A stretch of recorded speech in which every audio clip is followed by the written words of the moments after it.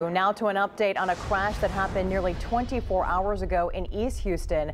Charges have now been filed against one of the drivers. 31-year-old Pablo Frias is now charged with intoxication manslaughter. Investigators say after an evaluation, it was determined that Frias was intoxicated at the time of the crash. He was driving the Peterbilt tractor trailer truck, one of the big trucks you see in this wreckage here. A 30-year-old woman was killed in that crash. Her identity has not yet been released.